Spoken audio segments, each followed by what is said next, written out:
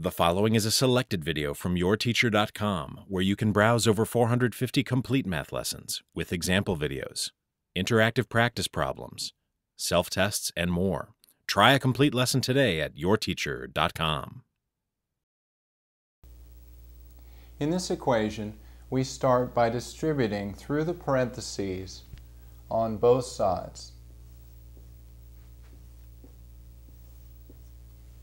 On the left, we get 6x minus 2, and on the right, we get 10x plus 15 minus 1.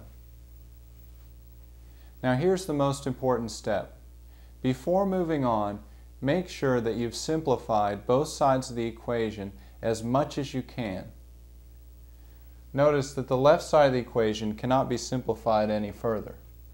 But on the right, 10x plus 15 minus 1 can be simplified to 10x plus 14. Bring down our 6x minus 2 on the left side, and we have a setup you should be very familiar with.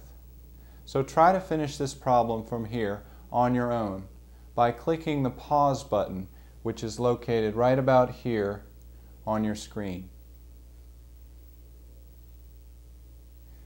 Moving our variables to the left and numbers to the right, we start by subtracting 10x from both sides.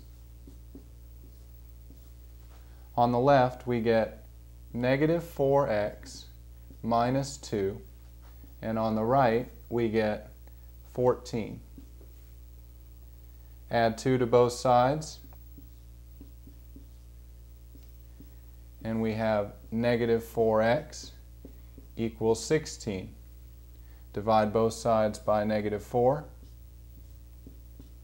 And x equals negative 4.